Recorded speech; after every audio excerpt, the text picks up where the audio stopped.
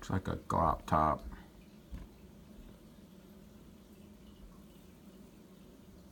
Yep.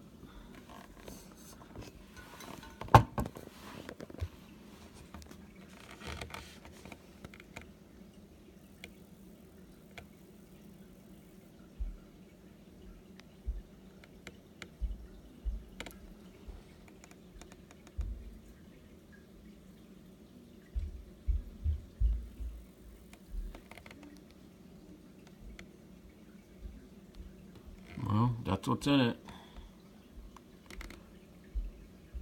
Not worth doing anything to it, really.